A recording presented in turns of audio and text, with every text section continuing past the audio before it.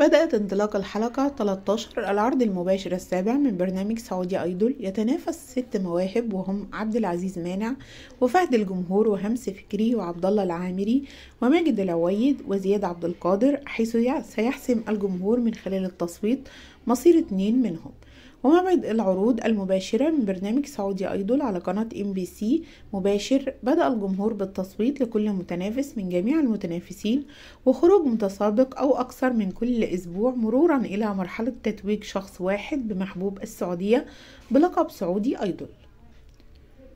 وتعرض لكم وكالة سوا الإخبارية بث مباشر مشاهدة الحلقة 13 العرض المباشر السابع من برنامج سعودي أيدول عبر قناة إم بي سي 1